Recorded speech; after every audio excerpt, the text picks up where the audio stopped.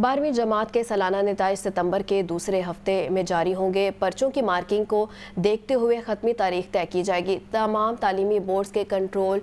controller इम्तहान से मुशावरत जारी है हतमी फैसला सेक्रटरी हायर एजुकेशन के जेर सदारत पंजाब बोर्ड कमेटी चेयरमैन में होगा मुलाजमीन की हड़ताल की वजह से पर्चों की मार्किंग में थोड़ी ताखीर हुई है